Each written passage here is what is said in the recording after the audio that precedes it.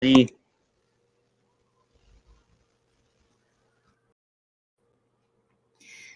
Уважаемые коллеги, здравствуйте.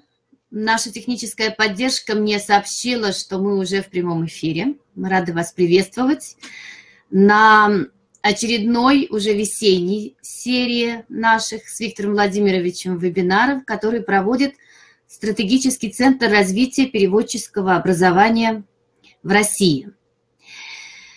Итак, наш сегодняшний вебинар посвящен лингвистике и политике. Русизмы в англоязычной полемике Запада и России.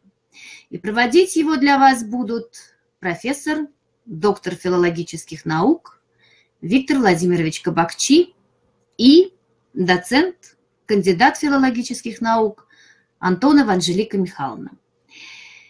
А, техническую поддержку нашего вебинара осуществляет э, Эдуард Алиевич Беглов, технический инженер Российского государственного педагогического университета. И мы ему за это чрезвычайно благодарны, потому что без его технической помощи и мудрого водительства мы бы с Виктором Владимировичем ни за что это все не осуществили. Итак, лингвистика и политика.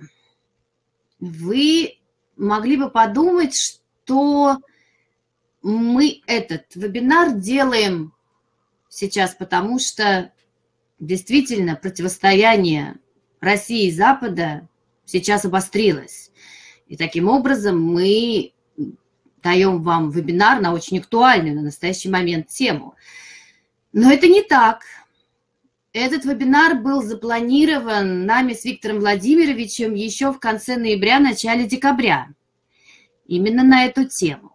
И не случайно, потому что Виктор Владимирович занимается этой темой уже а, порядка 40 лет и опубликовал несколько статей именно по теме лингвистика и политика. И вот последнюю сдал буквально вот здесь, в этот месяц. Я в прошлом году опубликовала статью по исторической э, лексике, э, частью которой, безусловно, является политика и политические русизмы в, э, в английском языке. Собственно, поэтому мы и запланировали этот вебинар. Но действительно тема сейчас актуальна. Тема актуальна. Вы видите, что противостояние России и Запада обостряется. И, собственно, это означает, что мы ведем актуальные в современной лингвистике, э, да, актуальную ведем исследования и рады, соответственно, поделиться с вами нашими изысканиями. Ну, теперь без дальнейших э, слов, Виктор Владимирович, вам, пожалуйста, слово. Мы рады, что вы сегодня с нами, и я уверена, что наш вебинар получится интересным и увлекательным. Спасибо. Э, только, Анжелика Михайловна, у меня сейчас эти стрелки исчезли, я боюсь, что я сам не смогу переводить. Хорошо, тогда это буду делать я. Но вам просто надо мыш, мышкой подвести к этим стрелкам просто. А их нет. А вы возьмите мышку в руки и все сразу увидите. А, вот, вот, вот. Да, да, да. Поэтому как вам удобно, могу делать и я. буду. Хорошо. Итак, тема э, объявлена. Рад всех приветствовать. Давайте не будем терять э, времени и пойдем по нашему пути. Значит, э, действительно, дело не только в политике, а то, что наш э, русский язык настолько перенасыщен англицизмами, что это меня немножко задело, тем более, что поскольку я занимаюсь англоязычным писанием русской культуры, знаю, что русизмы тоже есть в английском языке. Меня это задело. А вот тут пишут э, западные специалисты, что русский язык вообще меньше всего заимствований славянских языков, э, венгерского, турецкого и даже из языков американских индейцев. Это, конечно, меня очень-очень обидело. Вот, и я решил все-таки показать, что русизмы тоже есть в английском языке. А почему политика, мы сейчас увидим. Но вот что обижает, давайте посмотрим пример из Агаты Кристи. This is vodka, Mrs. Alcock regarded her glass suspiciously. Mr. Rat asked if I'd like to try it. Sounds very Russian. I don't think I like it very much. Вот это вот сразу настораживает то, что вот русизм и не нравится Агате Кристи. Ну, единственное, конечно, надо вспомнить, что Агата Кристи это был э, продукт э, Британской империи, она выросла в Британской империи, э, на э, произведениях э, Киплинга, на стишках Nursery Rhymes, включая Ten, nigger, Ten Little Niggers, а потом она называет свой детектив таким образом. И поэтому неудивительно, что вот и такое отношение э, к России, которое э, характерно и сейчас, и сейчас. Э, ведь даже если мы возьмем такой э, в Оксфордском словаре, вот в 1834 году, в эпоху Николая I отмечен э, русизм «русский», э, поясняется, что это сленг, коллоквиализм, а иногда даже derogatory. Вот пример они дают. The Nobel Prize Committee bestowed the 1958 award on Boris Pasternak because they thought it would get up the noses of the Ruskies. То есть они тут э, признаются, что Нобелевский комитет присудил э, премию э, Пастернаку Э, чтобы досадить русским, не, не столько за э, какие-то качества этого романа, хотя они, безусловно, тоже есть. Однако вот в чем дело. Вот э, в Большом Оксфордском словаре, который я смотрел, и, кстати, здесь вот на изображении вы видите последний бумажный э, Оксфордский словарь. Второе издание, второе и последнее. Следующее в 30 году, третье издание – это будет уже э, цифровое. И вот в нем э, различные группы русизмов, администрация 29, этнонимы 48, кулинария 37, религия 23, а вот политическая лексика занимает первое место, 117 русизмов. А вот это, конечно, примечательно и дает возможность э, разобраться, э, почему они. Ну, в общем, немножко нам надо удалиться в историю. Россия всегда была на обочине европейской э, цивилизации. Впервые узнали о, не о России, тогда еще было Великое княжество Московское – из произведения Фрайхер Зигмунд фон Херберштайн. А, интересная была личность, который жил в той части Священной Римской империи, на которой сейчас э, расположено э, государство Словении. То есть э, со славянами он был знаком. И вот он в 1549 году, эпоха Ивана Грозного, давайте вспомним, публикует his, э, свой, свое произведение «Rerum Moscoviticarum Commentari» э, о, о Московии на латинском языке. И долгое время это был единственный надежный источник, ну он как немец дотошный товарищ, э, сведений о России. Э, то есть э, мало Европа тогда знала о России. И тогда, вот тут написано, я просто переведу, э, знание о России, о, Сибири Центральной Европе до 18 века, то есть до Петра I, было очень ограничено. И вся эта территория была известна как Татари, а обитатели, как татаз, видите, double Oz. В XVIII веке писатели эпохи Просвещения отзывались об обитателях этой территории как «бабарос», «варвары». И, и, в общем-то, обыгрывали близость этого названия греческому слову «тартарус», a hell-like realm in Greek, in Greek mythology. Вот видите, это, в общем-то, говорит о, о, о том, что знали о нас э, до э, этого периода. Вот такая э, дата примечательная для Запада. Во-первых, посмотрите, вот тут, тут написано Россия. Нет, это не Россия, это Московия еще. И она отрезана от э, Балтийского моря. Отрезана она шведской Ингрии, там немножко сейчас сохранились ингерманландцы э, шведской Эстонии, шведской Ливонии и герцогством Курлянским. И вообще вот все, все вот эти Балтийским побережьем владела Ханзейская лига, торговцы из Германии. То есть Россия была э, landlocked, как э, говорят англичане, а выход к морю был только э, к Белому, там, где э, Архангельск, э, Мурманск.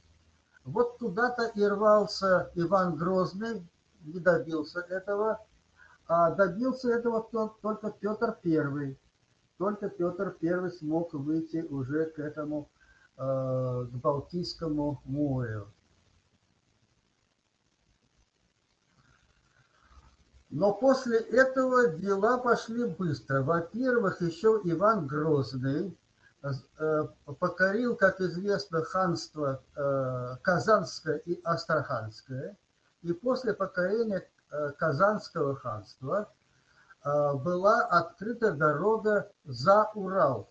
За Урал. И туда отправились русские землепроходцы Э, с купцами такими, как Строгановы, Демидовы, которым э, мудрый царь Петр I давал всяческие привилегии. И интересно, ведь это была эпоха великих географических открытий, э, эпоха of exploration, of exploration. Но Русские были тогда еще не мореплаватели, они были землепроходцы. Но за сто лет русские добрались до Тихого океана, там, где сейчас э, Владивосток, пересекли Берингов пролив, основали Русскую Америку чуть попозже, а, и даже э, появились э, Калифорнии, там Форт Росс до сих пор есть такой музей.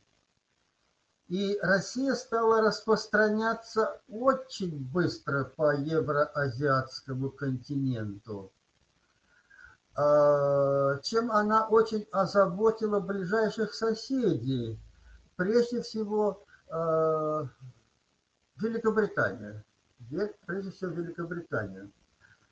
Э, с которой э, с самого начала у нас э, появились трения, вплоть до того, что Павел I пригрозил послать своих казаков на завоевание Индии. И в Лондоне к этому отнеслись очень серьезно. Они стали рассматривать Россию как угрозу своему могуществу. И вот э, я э, познакомился с книгой э, такого Э, э, он студент был, когда написал эту книгу, я посмотрел по источнику, дальше он нигде не упоминается. Но вот в 1904 году он написал книгу All the Russians. А сам о себе он написал No Russian, то есть у него не было русского языка. A Moscow Student Interpreter выражает свою благо, благодарность министру финансов Де Витте то есть он получил возможность кругом путешествовать. Вот. И интересно, буквально в начале э, своего повествования вот он задает такой вопрос. A question of questions for the British Empire is, will Russia attempt to invade India? То есть э, не задумает ли Россия завоевать Индию? Ну, как видите, у э, Павла Первого такая мысль, в общем-то, была. Была такая мысль, хотя, в общем-то, не все планы русских царей, к сожалению, э, осуществились. А, ну вот уже к тому времени, значит, было э, опасение, опасение. И хотя, э, тем более, что русские по окончанию э, Семилетней войны вошли в Берлин, но тогда повезло немецким княжествам, умер, э, умерла Елизавета, а ее муж э, Петр III был поклонником э, немецкого. А, нет, нет, э, муж Екатерины Великой, а Елизавета наследник. Нет, нет, нет. Петр Петр III, он был поклонником вообще всего немецкого. Да, но он был наследником Елизаветы. Елизавета умерла, а его, ее наследник Петр III, который был женат действительно на потом уже Екатерине II, он был поклонником всего прусского и там, стал прусским генералом и так далее. Испортил, поскольку русские войска вошли в Берлин, но все, все плоды победы он э, отдал э, своему э, обожаемому немецкому э, военноначальнику. Э, потом, э, как известно, русские казаки вошли э, в Париж победив Наполеона. То есть э, благодарности за это у Европы не было, а была в основном, были подозрительность э, к этим вот этим русским, которые пришли э, откуда-то оттуда, и вообще как они появились. Вообще появление Петра Первого на окраинах Европы было неприятным сюрпризом для европейцев. А, но вот грянул 17-й год – и там э, Russian Revolution, они вот так сэндвичем наши обе революции, февральскую и октябрьскую, э, складывают в одну Russian Revolution. И большевики э, провозгласили на весь мир, мы на горе всем буржуям мировой пожар раздуем. И оба лидера революции, и Ленин, и Троцкий, они, в общем-то, их интересовало не только и не столько Э, э, революция в России, сколько в глобальном масштабе. В глобальном масштабе. Это смертельно напугало Запад. Смертельно напугало Запад.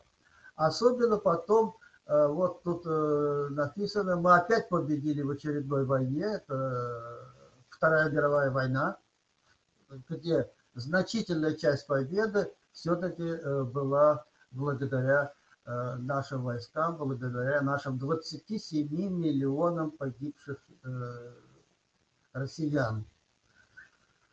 А, и вот э, в 1957 году первый шок Западу, это запуск спутника, я это время помню прекрасно, и этот шок, в общем-то, был таким же, если не большим, чем шок запуска Гагарина. Собственно, запуск Гагарина был подготовлен, психологически Запад уже был готов э, после спутника.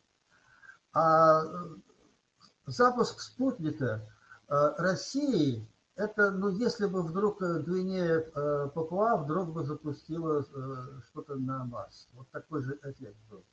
Они очень перепугались.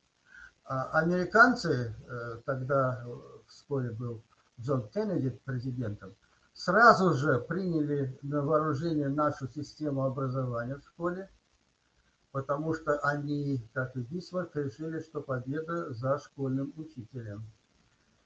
И тогда появляются специалисты, sovietologists и criminologists.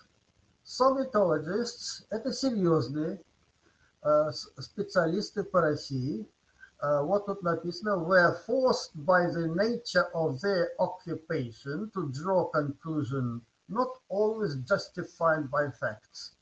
А вот тут э, признаются, э, что, в общем-то, ну, в общем, я читал много советологов, работа у них серьезная, серьезные работы, тут ничего не скажешь, потому что напугались, напугались Запада от того, что произошло.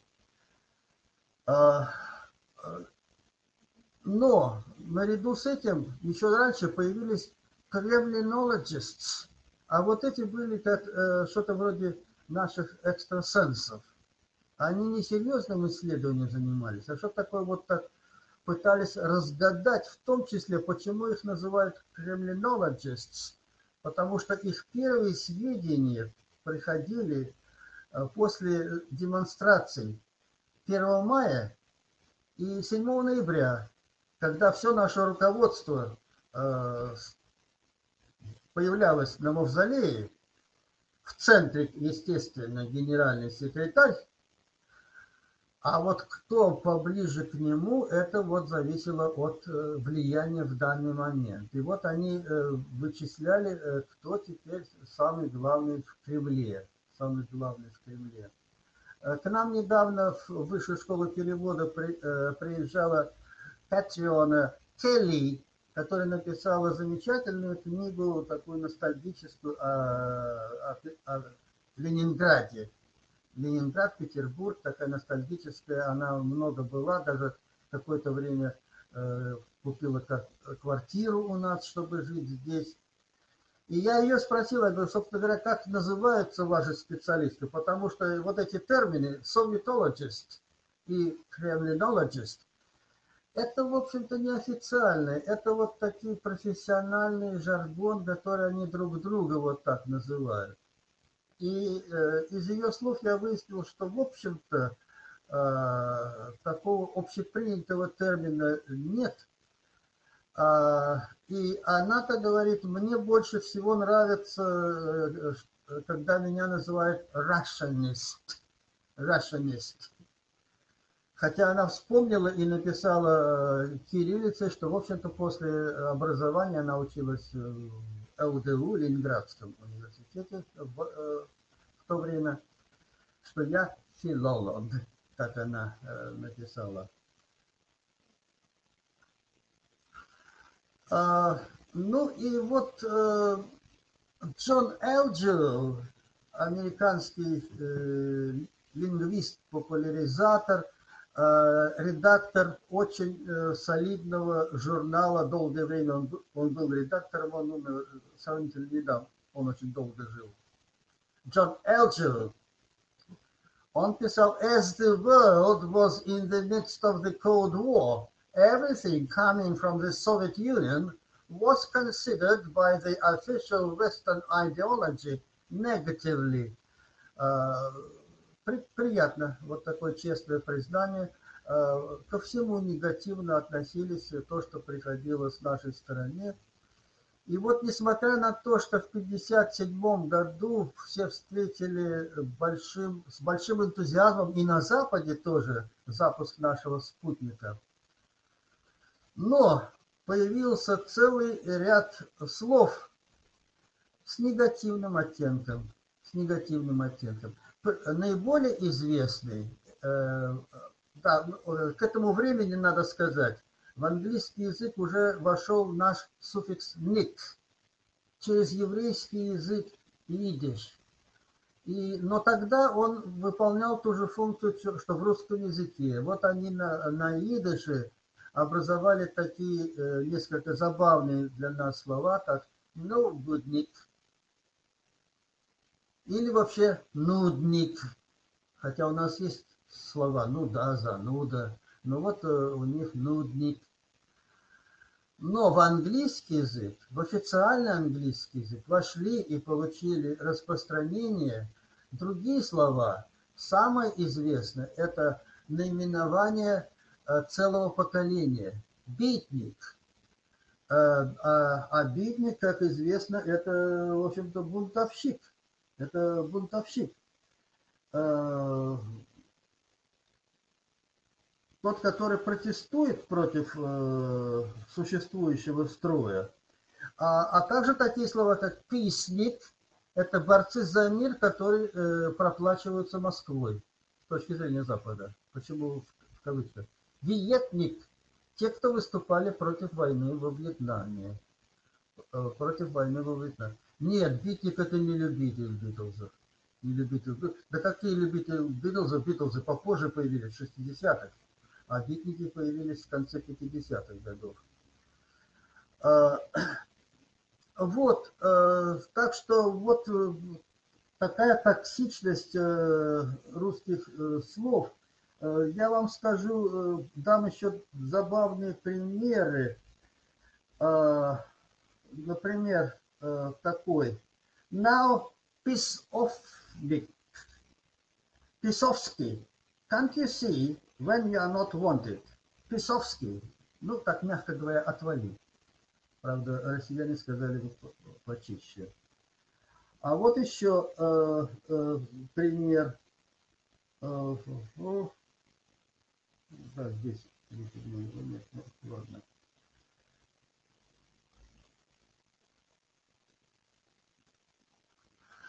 И вот идет идеологическое размежевание. Все, что у них, это правильно, все, что у нас, это неправильно. И вплоть до того, что, скажем, вот я наткнулся на такой э, текст, где Рус Вернер, кстати, недавно сравнительно умерла, оказалась a singularly accomplished spy whose espionage activities spent some 15 years from 1931 to 1940. 46. Spy, она описывается. Она описывается как э, spy. Но между тем она э, передала нам... Сейчас, минуточку. Она передавала нам сведения, она передавала нам сведения о, э, об атомной бомбе потому что она была близка к, к ученому, который симпатизировал именно Советскому Союзу. Именно Советскому Союзу. Но таким образом она не спай, а она разведчик для нас. Agent. Agent. Извест, известна история с, э, с, с Рихардом Зорге. Хрущеву показали фильм западный о Рихарде Зорге Э, который э, на Западе назывался Spy Disorder. Э, и кто-то, Хрущеву фильм очень понравился. И он сказал после просмотра фильма, вот такие фильмы нам надо создавать. И кто-то из присутствующих сказал, Никита Сергеевич, это наш человек. Он говорит, как наш человек? Это наш разведчик. Хрущев потребовал, чтобы ему представили дело вот этого разведчика, э, э, сказал, что его надо всячески популяризировать, присвоили звание Героя Советского Союза Зорге.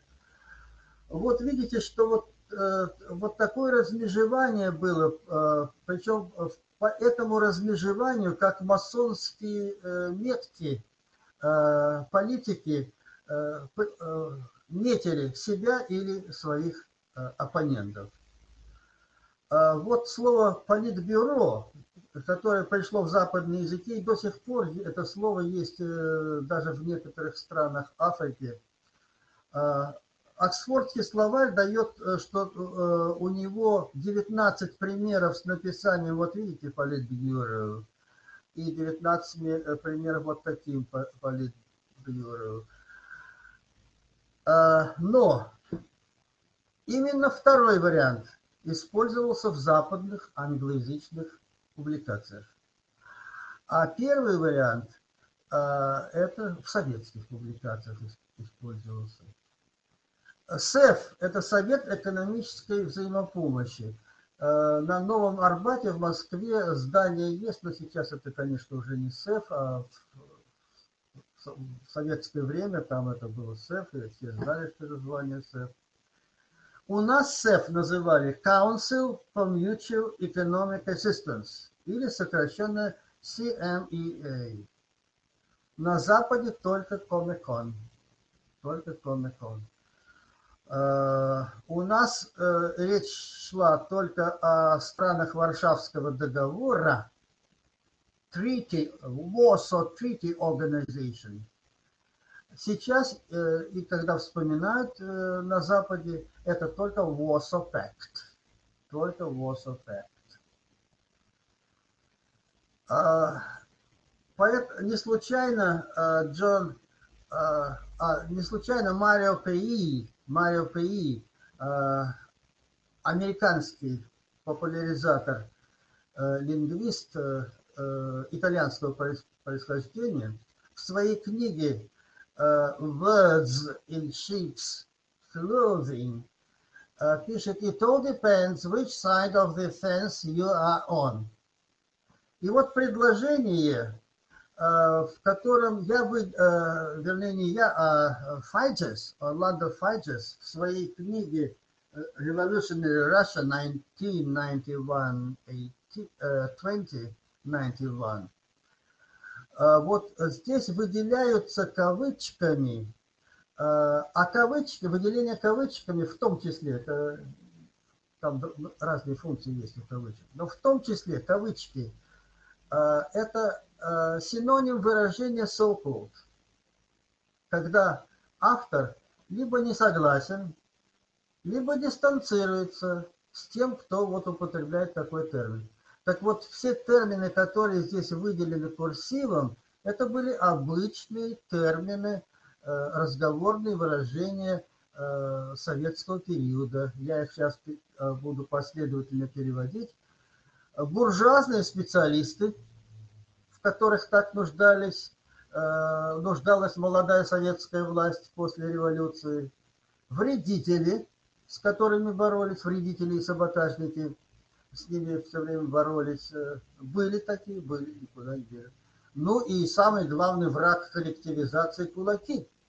Кулаки, то есть лучшие, самые э, прибыльные хорошие крестьяне, которых всех уничтожили в, э, в ходе программы так называемой раскулачивание, по-английски deculacization. Буржуазные э, националисты, rightists – это правые уклонисты, зиновьевайц – это были зиновьевцы, вот интересное выражение former people, бывшие люди. Бывшие люди. Я сейчас, когда э, слышу передачи или там, рассказы о Москве и всех, кто э, архитекторы, э, ученые, бывшие люди, э, которых выселяли из своего здания, из своего собственного здания, он архитектор этого здания, и поселяли э, в лучшем случае в отдельную комнату в коммуналке где-нибудь там. А, и социально чуждые элементы. Вот это все, э, все это выделяется э, курсивом, потому что это для западного читателя, который смотрит со своей позиции, он на другой стороне фенс сидит, вот это все так называемые. Они с этими э, терминами не согласны. Они не согласны с этими терминами. А, ключевые слова. Ключевые слова. Конечно, самое большое внимание было направлено на э, ключевые слова и прежде всего на слово большевик. Потому что большевики сделали революцию. Ленин был во главе большевиков – Э, и, конечно, в словаре, вот тут видите второе значение. Э, а первое значение э, там формально, кто были такие большевики, почему большевики, почему меньшевики. А вот уже для западного идеолога большевик – это a person of subversive, подрывная, or revolutionary views, an out and out opponent of the existing social order or accepted codes. Собственно говоря, Битник был это молодой большевик с западной точки зрения. Вот тут пример из книги Эндрю Джека «Inside Putin's Russia». Even Putin dubbed Chubais a Bolshevik for his ruthless methods. Ну и раз большевик такое плохое слово, быстро э, появляется еще э, более э, уничижительное слово «больше» о, с написанием дважды «y» или «i» и на конце. A jocular or contemptuous name for a Bolshevik. Пример э, кстати, из оксфордского словаря, Ленин and Stalin and Trotsky, all that больший lot. Они не большевики, они вот описываются этим уничижительным э, эпитетом. А, ну, другим э, уничижительным словом было, конечно, слово агитпроп.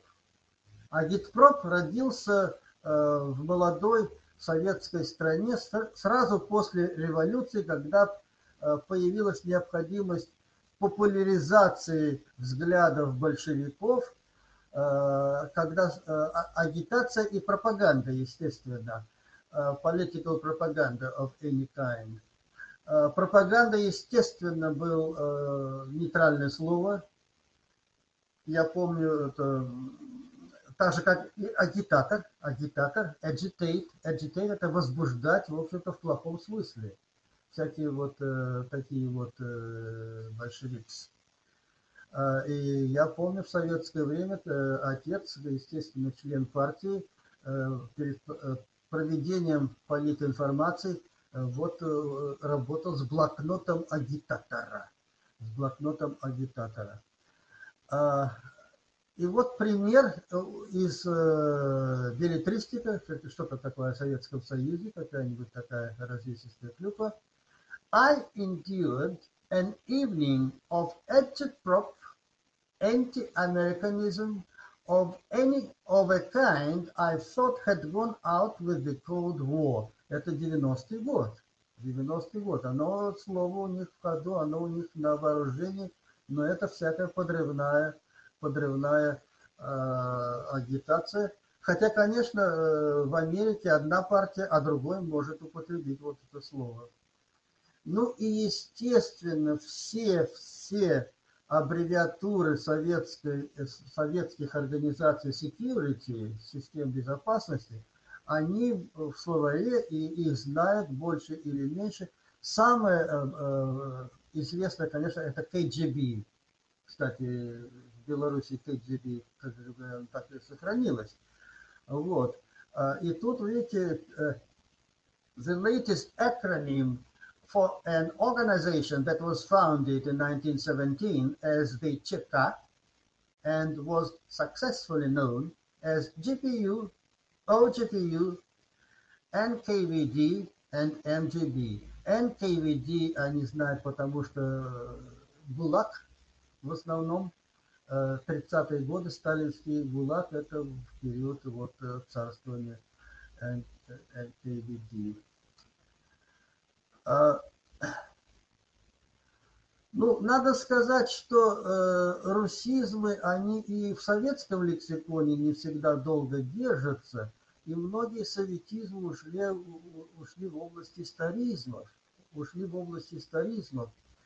А, и поэтому и они уходят в область историзмов. А, а, вот, скажем, а, в советское время а, важно было Э, подчеркнуть и доказать, убедить население в том, что между коммунистической партией, она долгое время называлась ВККБ, Всесоюзная коммунистическая партия в скобках маленькая буква э, Б большевиков, а между ними э, монолитное единство, монолитное единство. И вот Хедрик Смит автор бестселлера о Брежневском Советском Союзе, пишет «The painstaking deception of Western criminologists, for example, had exposed the fiction of the communist monolith». То есть это фикция, никакого монолита с точки зрения Смита не было. Вот, ну, он рухнул вместе с Горбачевым. Ну вот интересно, Лондман, я, кстати, часто обращаюсь к словарю, причем цифровому словарю в интернете лондоновскому, учебному словарю. Для меня эти словари, во-первых, это источник самых высокочастотных слов английского языка с наиболее употребительным значением. Правда, они испортились после того, как появилось, появились вот эти огромные фонды оцифрованных текстов, они стали немножко халтурить с дефинициями. Те, кто стояли у источников таких словарей, это Майкл Вест, американский, и особенно британский лексикограф Хорби. В Советском Союзе это был словарь, на который молились все, потому он был единственный, у нас не было других словарей, кроме крупных библиотек. И огромное количество кандидатских диссертаций было на материале Агаты Кристи и словаря Хорнби. То есть диссертанты получали удовольствие от чтения детектива, а подтверждения доходили в словарях Хорнби. Вот, и вот интересно, пишет Лонгман об этом слове monolith. A large, powerful organization that cannot change quickly and does not consider the ideas or feelings of the people it affects. Но пример он, Лонгман дает все-таки из советского прошлого. The collapse of the communist monolith in Eastern Europe. Ну, как не, не воспользоваться еще раз и порадоваться победой в холодной войне. Некоторые русизмы позволяют проследить динамику русификации английских слов. Дело в том, что иногда русификация проявляется не столько в самом слове, столько в значении, которое оно передает. Например, apparatus и аппарат – это два интернационализма, интеронимы, которые в своем основном первоначальном значении, они близки. Это аппаратура, используемая для измерения чего-либо, которое мы находим в лабораториях. Но в советское время слово «аппарат» в русском языке стали использовать для обозначения всех активных особенно влиятельных деятелей коммунистической партии. Вот пишет Оксфордский словарь. The party machine of the Communist Party in Russia. In Russia. В 50 году вот, впервые зафиксировано. И вот примеры, примеры, смотрите уже, как сейчас употребляется. Stalin's power grew from his control of the party apparatus in the provinces. Просто английское слово употребляется в этом значении, хотя, конечно, это не лабораторная аппаратура. А во втором примере из Cambridge Encyclopedia of Russia, the term apparatus, в скобках русизм аппарат, is applied to these full-time party functionaries, party functionaries. Uh, ну и, конечно, от слова аппар, аппар, apparatus или русизм аппарат uh, один шаг до популярного в, uh, в советское время слова аппаратчик, и это слово подхватили советологи-кремлинологи. и a full-fledged apparatchik, the homely euphemism used in the party for agents and spies. То есть наши аппаратчики, они же еще и шпионы все. Ну, вот такая борьба шла. А Хедрик Смит, который я только что упомянул, автор uh, The Russians бестселлера о Британском Советском Союзе, пишет, Whenever Russian words are well enough known to general readers to use correct Russian endings, such as apparatchiki, I have done so. То есть он использует, пишет, что он использует множественное число, тогда, когда он знает, что это слово очень хорошо известно. Но оно хорошо известно в среде советологов и криминологов. А так вообще-то, конечно, нормально англичане не знают. А, нередко а, слова, которые давно известны в английском языке, приобретали а, вот э, советированное значение, политизированное, особенно в среде, опять-таки, криминологов и политологов. Вот Исопик, ну, конечно, знали давно английские языки этого автора Исоп, и то, что э, относится к нему, это получало уже определение Исопик. Э, но вот определение Aesopic, второе значение, in relation to Russian and Soviet communist literature, using a style or language that has hidden or ambiguous meaning, especially as a device to disguise dissident political writing in allegorical form and so avoid official uh, censorship. Uh, вот о булгаковском собачьем сердце и мастере и Маргарите. Кстати, путеводитель по России пишет. Both novels can be read as Aesopian attacks on moral assumptions of the Bolshevik regime. Of the Bolshevik regime. Вот это слово запомните, ниже я еще к нему вернусь. Но особенно э, широко в среде э, криминологов, э, советологов распространилось слово fellow traveler. Fellow traveler – это попутчик. Но это не попутчик, который сидит рядом с вами в машине, э, в метро или в электричке. А fellow traveler – это э, термин, э, который ввел в обращение Лев Давыдович Троцкий. И так он называл литераторов, которые, в общем-то, э, писали, соглашаясь с большевиками, но не были членами партии. Не были членами партии.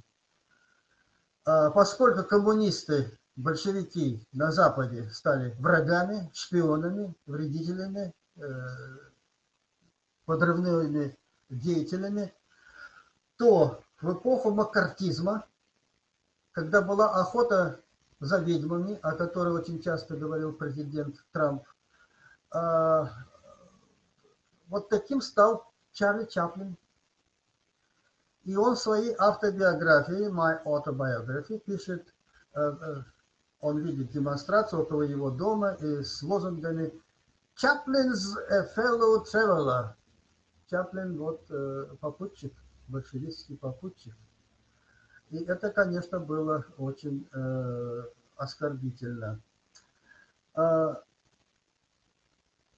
слова такие, как «тедж», «чистки», в значении сталинских чисток 30-х годов, «show trials», опять-таки, э, показательные процессы, на которых видные деятели революции и после революционной э, советской России уже, признавались, что они японские, там, английские, какие угодно шпионы. А, и вот эти слова уже, конечно, тоже приобретали вот такое значение. Хотя, конечно, они давно известны э, в английском языке. И некоторые слова при этом вот э, теряли связь Виктор Владимирович, Виктор Владимирович, извините, у нас был вопрос, и очень такой интересный, релевантный. Я сама хотела вклиниться и вам его задать. Ага. У нас Анастасия Никитина спрашивает, а почему Чаплина обвиняли в подобном?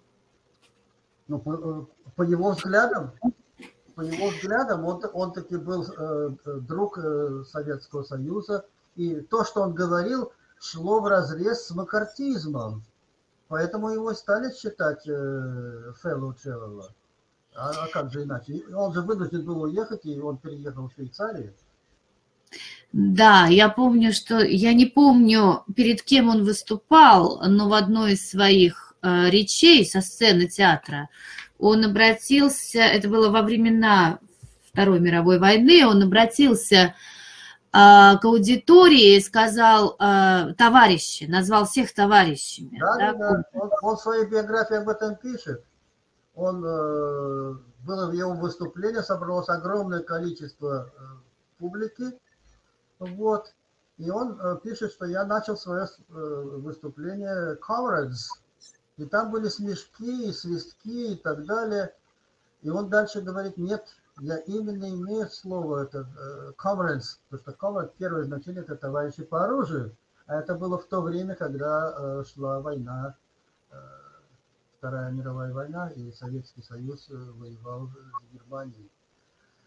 Да, и нес, нес колоссальные потери, и, собственно говоря, Чаплин хотел призвать, э, да, и американскую общественность к тому, что, в общем, Советскому Союзу на тот момент надо было помогать, потому что он нес основное бремя войны.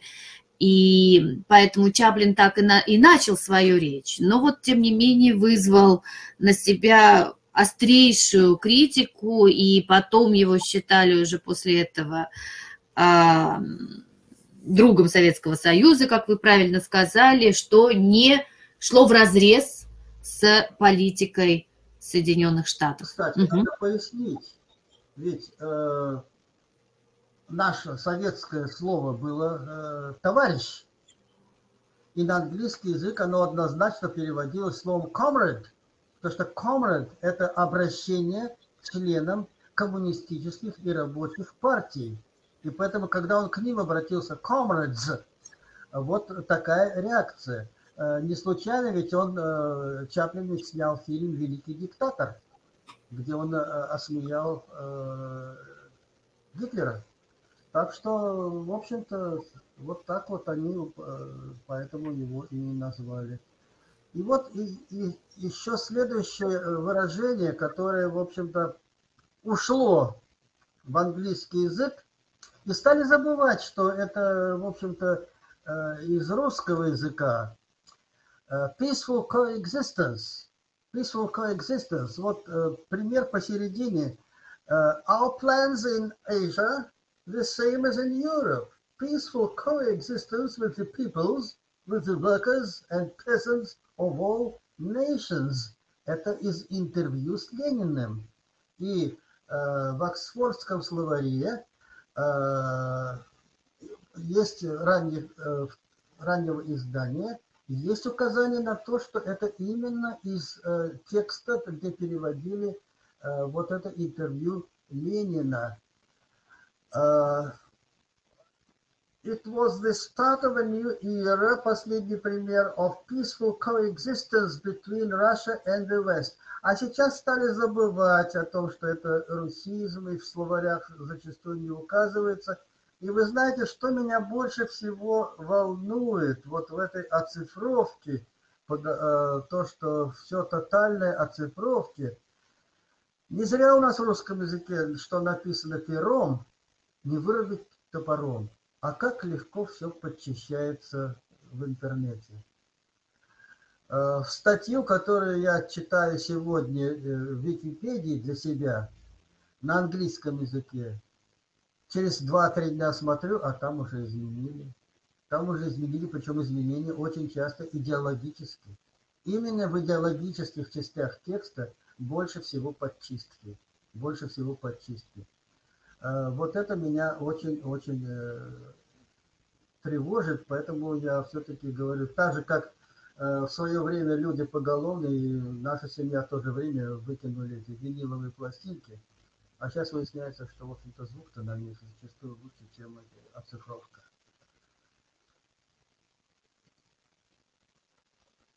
А вот интересно, связь теряет с теряют русизмы и такое слово, как колхоз. Колхоз – это, конечно, коллективизация.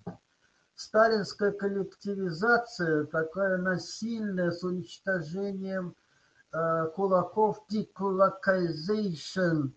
Э, но на английский язык, естественно, его быстро перевели, расшифровав колхоз, коллективное хозяйство, collective farm. И вот так он и вошел, в общем-то, э, чаще всего. Колхоз употребляется только-только, если это на э, специальную э, публику, на криминологов, советологов, на Russianists. А так обычно, вот, пожалуйста, 97 год из Moscow Times, Овчаренко, a former collective farm director.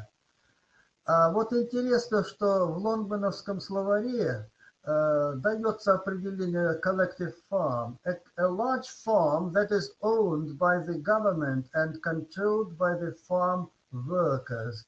Но вот я хочу обратить ваше внимание на пример. Вот это пример, выбранный из огромного корпуса текстов о, о России. Ну вот посмотрите, Milda was no longer allowed to live in Riga, but had been ordered to do hard physical work on a collective farm. Но я вижу за этим предложением, что это э, предложение о бедной Латвии, которая э, периода советского периода, которую загнали насильно в колхоз.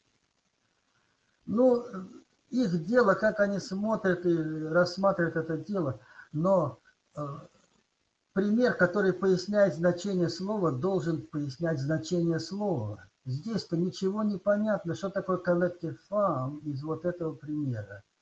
Ну, вот это вот э, идеологическая борьба, никуда не денешься от нее. Ну, конечно, очень часто э, мы уже с ними встречались э,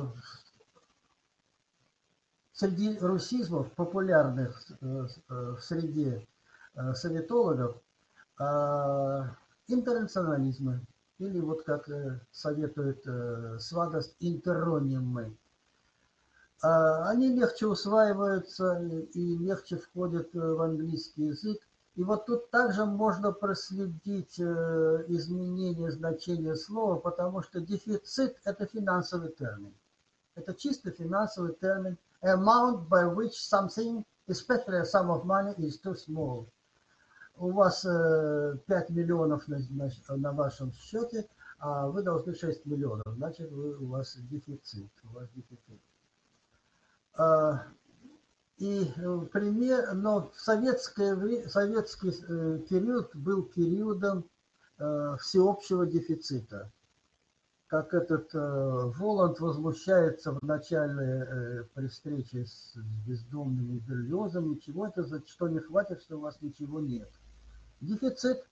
Дефицит был до самого конца, и самый страшный дефицит был в эпоху э, Горбачева, когда, особенно в конце, когда либерализировали цены, и на полках магазина была только морская капуста, мыло и, по-моему, спички. Э, и вот примеры, соответственно, но это же слово с негативным значением, вот за него как раз э, советологи цепляются. Э, я просто перевод буду читать, следите по тексту. Она затем использовала небольшого количества денег, чтобы покупать so-called deficit goods, consumer articles that are almost always in short supply and high demand in Soviet shops. Э, э, вот видите, so-called, так называемый, так называемый, значит, это дистанцирование – это в Советском Союзе так называют. У нас дефицит это другое значение, они, они говорят. А в следующем примере из того же Хедрика Смита those desirable and perennially scarce items that Russians call deficitny, deficit goods. Тут и то, и то, и, и русизм э, присутствует. Аналогично слово liquidate. Liquidate тоже финансовый термин. Финансовый термин, когда ликвидируется какое-нибудь предприятие.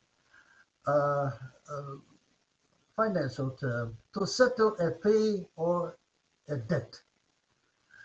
Uh, и вот седьмое значение, то есть liquidate, конечно, старинное слово, давно уже пришло в английский язык, а вот в 24 году Оксфордский словарь отмечает первую цитату русизма to put an end to, abolish, to stamp out, to wipe out, to kill. Большевики, когда э, устраняли врагов, э, убивали своих врагов, они называли ликвидировать. Это эфемизм. И сейчас у нас есть эфемизм. Только сейчас мы говорим, э, там, террорист был нейтрализован.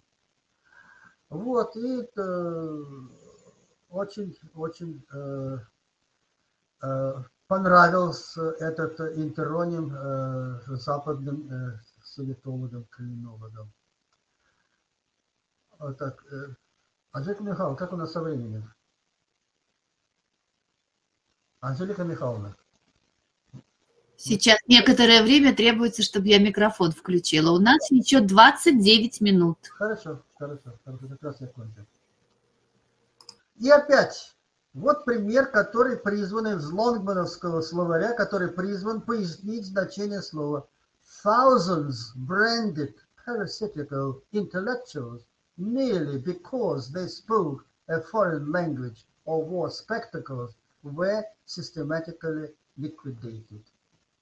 Значит, тот, кто помнит Ждановскую кампанию против э, безродных э, тунеядцев, поймет, почему э, ликвидировали parasitical intellectuals, вообще-то тут интеллигенция должна стоять, русское слово, только за то, что они говорили иностран, на иностранном языке или носили очки. Ну, это вот было то время, когда Михалков-старший Сергей писал, «Я знаю, есть еще семейки, где наши хают и бронят, где с умилением глядят на иностранные наклейки, а сало русское едят». Ну, не будем выяснять, чье сало русское или украинское, не важно. А вот э, порой Виктор Владимирович, у нас вопрос. Виктор Владимирович, а, видите, читаем ниже. Иван Козлов. Значение уничтожить появилось только после того, как переноса... Э, нет, нет. Значение к английскому слову to liquidate, финансовому термину, добавилось новое значение. И сейчас, в общем-то, его широко используют. Широко используют. То есть слово-то было, но вот это добавилось новое значение. Так же, как fellow traveler, попутчик по путешествию по дороге. Оно давнее э, слово, но э, сочувствующий коммунистам, большевикам, это вот новое значение. А, слова-то многозначные. Возьмите такое слово, когда у нас были стахановцы, которые выполняли и перевыполняли много норм. Норм, конечно, это слово старинное, э, а вот одиннадцатым значением, если я не ошибаюсь, в какой-то э, э, год оно появилось в Оксфордском словаре в значении норма выработки вот, э, работы. Так что это новое значение просто. Мы с, с нашими студентами всегда говорим о том, что э, вообще студенты филологических факультетов знают, да, что есть такой способ образования, да, как семантическая калька. Кальки бывают лексическими и семантическими. Uh-huh. То есть семантическая калька – это когда уже существующее в английском языке, в данном случае в английском языке слово, принимает под воздействием внешней культуры дополнительное значение. Вот в данном случае это касается и глагола liquidate, и э, слово норма, как сказал, ном, как сказал Виктор Владимирович. Еще. Так, ну тут вопрос, насколько вольно и часто криминологи создавали русизмы. Они их не создавали. Если вы говорите о значениях, да, очень вольно, очень вольно они придавали, они переделывали эти русизмы и давали им свое значение. А русизмы, они русизмы. Угу. законы заимствования слов и, и, и калькирования. Значит, иногда слово меняет свою лексико-грамматическую форму. Вот потемкинские деревни, потемкинские деревни, строго говоря, это придумали-то не мы, а придумали Екатерина э, вместе с Потемкиным э, путешествовала, э, и вместе с ней ездили, ехали и целый ряд послов, и, по-моему, даже какой-то один это, король или кто там, неважно, очень высокопоставленный. И вот один из послов это и придумал, пустил в ход вот эту миф о потемкинских деревнях. И в английском языке вот уже Theresienstadt was a Potemkin camp used for Nazi propaganda. Тут просто Potemkin camp.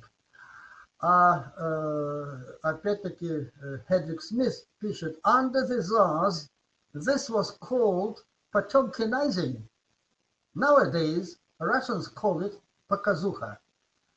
Ну вот, хотите, вот так вот заимствуют русизм в современном веке. А, и вот то же самое коллектив. Коллектив изначально и, и сейчас чаще всего это, это прилагательное. Это прилагательное. А, а в Советском Союзе, в советской идеологии был культ коллектива. Не отрывайся от коллектива, тогда всем говорили, кто вот такой э, индивидуал. Вот. И uh, they saw the revolution's goal as the creation of a higher type of human being, more collective. Прилагательное. Прилагательное здесь. No, but there was no question of forcing any peasants to join the collectives. А здесь уже uh, collective funds. Здесь уже uh, превращается... Ну, в английском языке любое слово может превратиться в прилагательное или глагол. A sense of belonging not just to the collective in the abstract, but to the specific, to a specific factory. То есть здесь Катриона Келли рассказывает о том, что важно было в Советском Союзе, чтобы люди были не просто члены коллектива, но члены вот какого-то конкретного коллектива. А Хедвиг Смит шутит о том, что even in our small office, we and our Russian employees constantly joked about the New York Times коллектив. В нашем коллективе там у него и русские работали, э, и, и американцы. Ну и, конечно, э, все, что, вот как писал э, честный лингвист, ученый Джон Элджио, все, что приходило от нас, это, это было плохо. А если не было плохо, надо было сделать, чтобы это было плохо. И вот Марио Пеи, тот, который пишет «It depends which side of the fence you are on», он пишет «One well-known term in use among communists is comrade.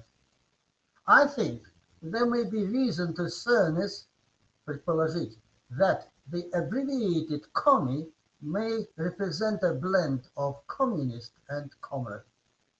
Ну вот, пожалуйста, так же, как больше.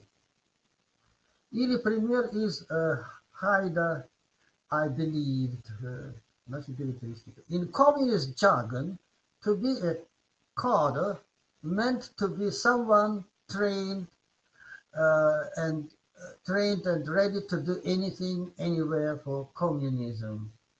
Вот еще, кстати, один интероним, интернационализм, который изначально это было значение, военный термин, костяк.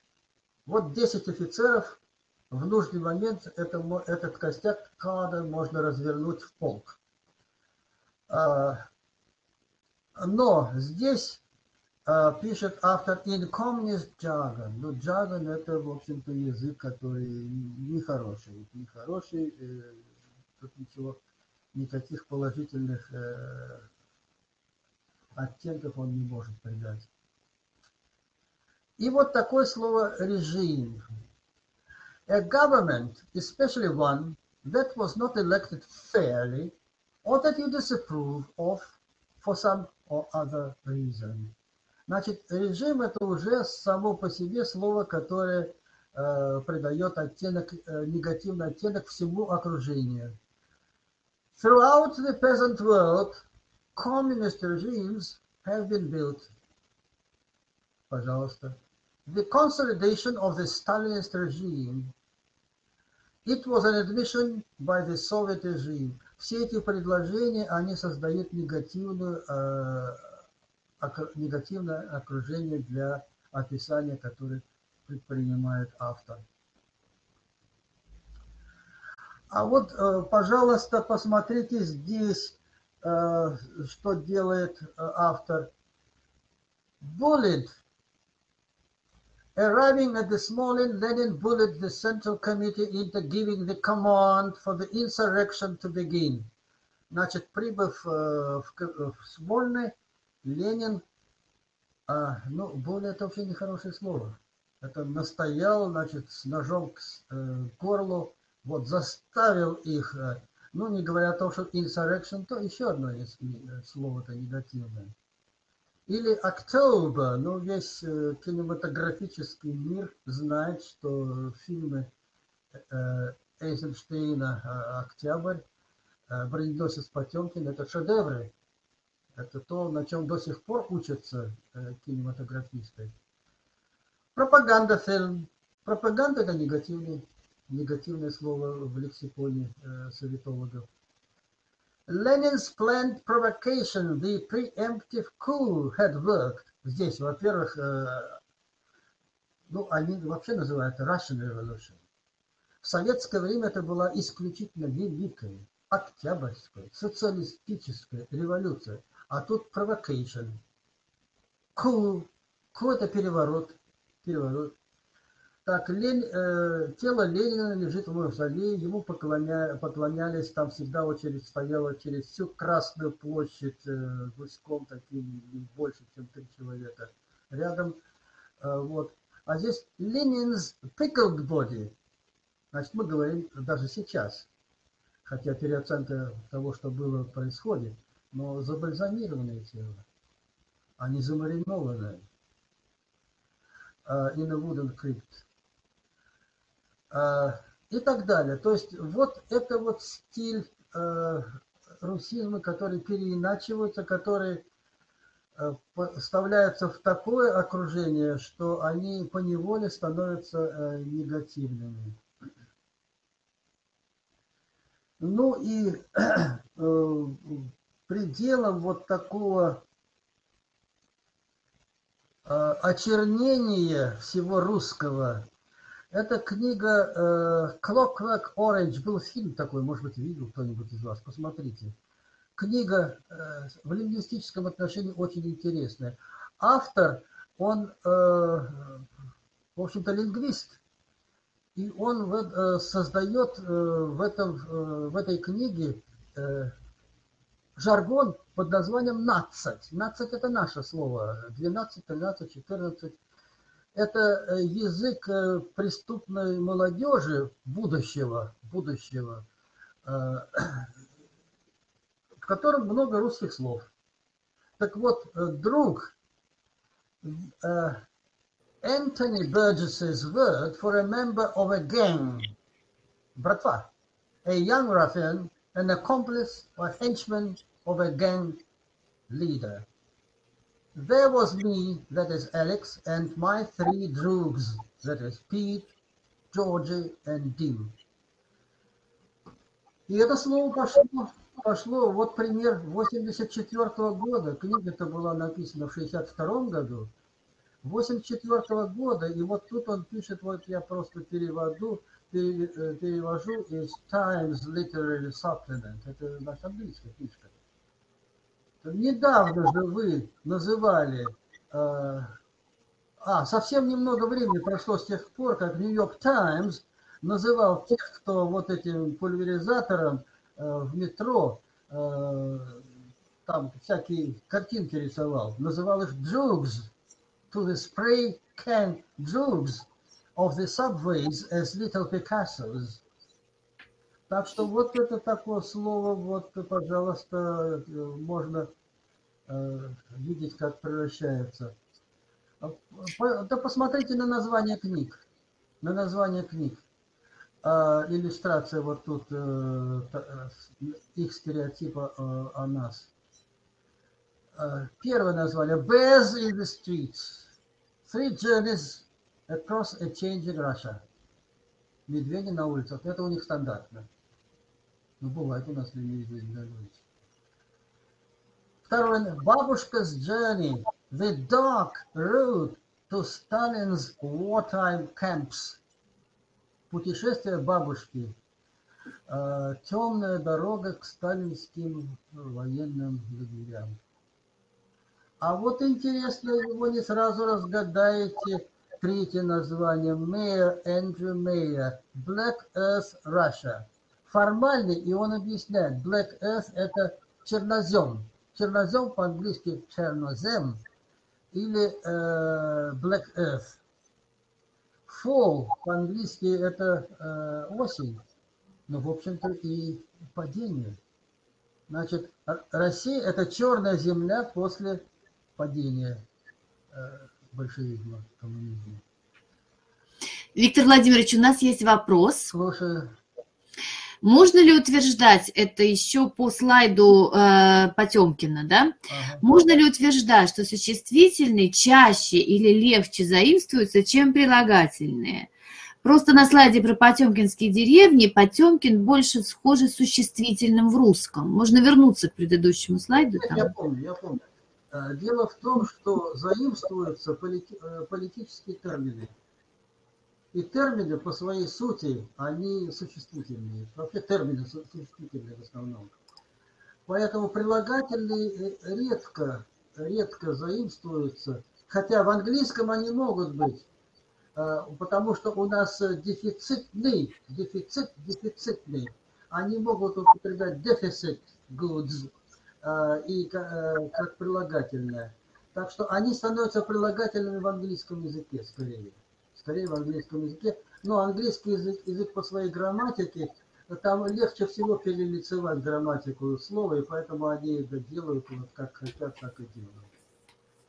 Так, у нас еще, по-моему, пара слайдов осталось. Да, но у нас спокойно еще 13 минут, так что все в порядке. Хорошо, хорошо. А, ну вот чудеса э, политологии, политики, истории. Джордж Орвелл написал э, книгу 1984 in 1949. И 1949 мне было 12 лет, так что прочитал я эту книгу значительно позже. Но в Советском Союзе мы однозначно эту книгу воспринимали, мы, да и все, даже соглашались, идеологи, Э, сопротивлялись, э, однозначно воспринимали, что это о нас. Это о нашем ужасном будущем, где э, за всем подглядывает Big Brother, где существует thought police, который подсматривает за вашими мыслями, где устраивается two minutes hate, когда ненавидят вот там проклятых капиталистов, э, буржуянов и так далее.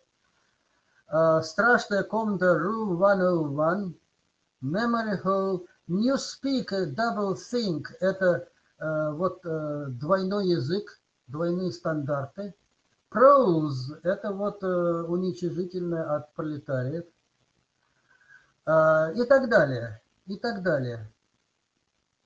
И э, вы знаете, я с изумлением, с изумлением последние вот, э, вот эти нулевые годы, после этого, вот это, с началом этого века, смотрю, так это все про них.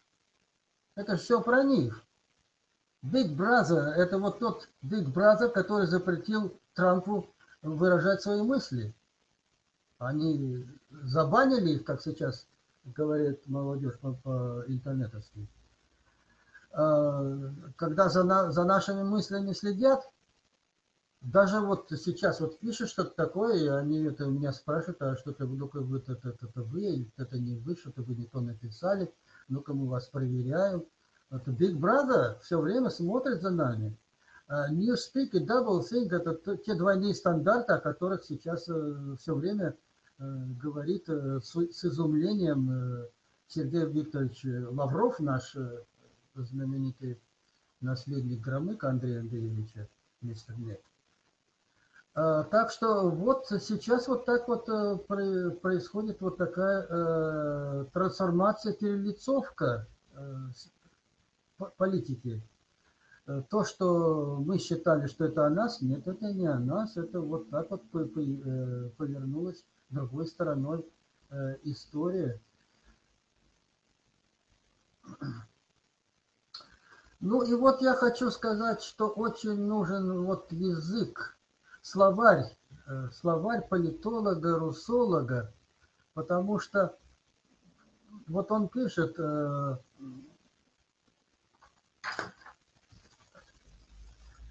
Марио Каи в своей книге Ship's Closing, он не любит нас, не любил.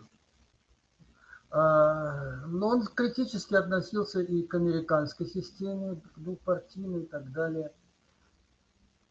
Но он пишет о том, что вот э, усилиями политиков слова зачастую начинают означать противоположное от своего против... Э, первоначального значения – и действительно это так. Действительно это так. Ну вот, э, смотрите, кому придет в голову, кто не занимается такой, вот этой темой моей, нашей темой, англоязычное описание русской культуры, особенно политики. Оксфордский словарь в 1976 году зафиксировал слово «маскировка». In the Soviet Union and other countries of the Warsaw Pact, видите, pact, а не treaty, political or military deception, especially as practiced against Western intelligence. То есть маскировка – это все приемы, которые мы применяем для того, чтобы э, вот обмануть западную разведку. Да маскировка с древнейших времен применяется. С древнейших времен ничего нового мы не изобрели. Интернет, а раньше говорили, здесь стены слышат. У нас э, долгое время э, шла серия фильмов об, о, о резиденте. Я сейчас уже не помню наизусть, там «Возвращение резидента», «Ошибка резидента», «Просто резидент», вот эти все фильмы.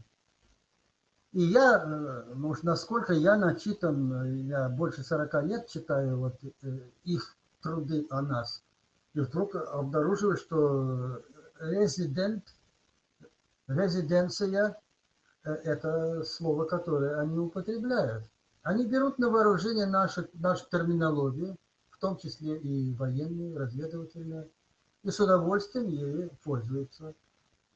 The London resident illegal agents who are members of Soviet residency in foreign countries. Можно подумать, что у них таких нет. Это прием а вот э, как-то я, э, рассматривая слово компромат, обнаружил огромное количество ссылок на вот эту статью о компромате э, из Википедии, по-моему, или из какой-то другой энциклопедии. Майя Грег. A Russian word Americans need to know. Компромат. Вот, оказывается, позарез американцам нужно это слово all things considered и так далее. Э, и вот откуда взято это слово. То есть э, самые неожиданные открытия э, делаешь, когда знакомишься с политической лексикой американских политологов, советологов, криминологов. Причем, что нужно иметь в виду?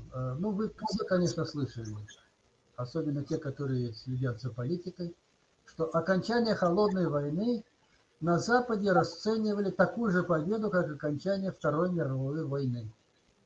Они медали выдавали за победу в холодной войне. Хотя, насколько можно видеть, по крайней мере по текстам, на мой взгляд, холодная война не кончилась, она продолжается. Она продолжается э, до сих пор. А, Э, но что получилось? Советский Союз распался в 91 году. Они считали, что они победили. Они распустили всех своих толковых советологов. Ну, криминологи ушли, это были такие годами на какие-нибудь. И уже прошло 30 лет. У них нет специалистов. Они плохо знают Россию. Они плохо знают Россию. Наши все время э, удивляются. Э, имейте в виду, нету на Западе такого интереса э, к миру, как у нас к Западу. Мы знаем э, англосаксонский мир Западную Европу, Западную Европу, гораздо лучше, чем они даже нас. И это опасно. Это опасно, потому что они делают выводы и наблюдения, которые абсолютно не соответствуют э, действительности. И э, очень часто я смотрю, и действительно нету, нету у них сейчас знатоков, и нету таких, как политиков, как э, Хенри Киссинджер и предыдущие президенты, они отнюдь нас не любили.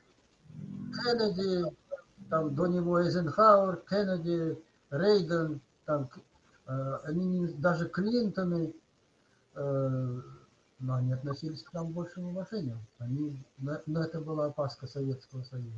Сейчас они нас не опасаются. Это, это в общем-то, для них э, может обернуться плохой стороной. У них были грамотные советчики, как вы правильно говорите, э, Виктор Владимирович, которые изучали нашу страну э, в течение многих десятков лет. Да, то есть эм, американское правительство, начиная, ну, примерно, да, с запуска эм, спутника из полета Гагарина, стала выделять колоссальнейшие гранты на изучение русского языка, русской культуры, русской истории для того, чтобы готовить советологов и для того, чтобы, собственно говоря, знать, а, с кем ты имеешь дело.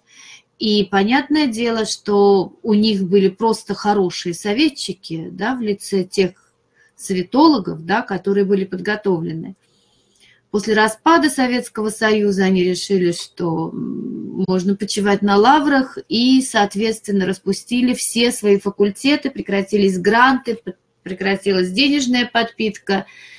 И э, ну, просто у них сейчас не то, что не хватает, а практически специалистов нет. И таким образом они вынуждены э, питаться информацией, которые им дают журналисты из Вашингтон-Пост и так далее – и которые, в общем, очень редко соответствуют действительности. Это правда. Ну, я хочу сказать, что э, вот, для примера упомянутая мной Катриона Келли, она многократно пребывала в, э, в Ленинград, жила здесь, купила квартиру. Вот это бывший советолог. Но она сходит, она тоже уже в возрасте. Конечно, моложе меня, но тем не менее. Еще я хочу э, отметить одну вещь. Вот у нас э, в практике э, обучения иностранному языку мы даем страноведение, культуру страны изучаемого языка, и я помню, что мы нежно любили Англию. Англия – это моя первая любовь. Я не встречал иностранцев, которые вот так бы нежно любили Россию. А, ну, правда, в Англии, да, но это тоже пожилое э, э, поколение, это те, которые ушли с помощью нашей инвалидной. Вот, так что вот такая ситуация у нас сейчас э, складывается, к сожалению, к сожалению. Ну, в нашей культуре вообще принято, да, то есть вот уважение к другим культурам, возможно, это в силу того, что наше государство всегда, всегда было многонациональным, и поэтому уважение к другим культурам, интерес к другим культурам у нас всегда был повышенный.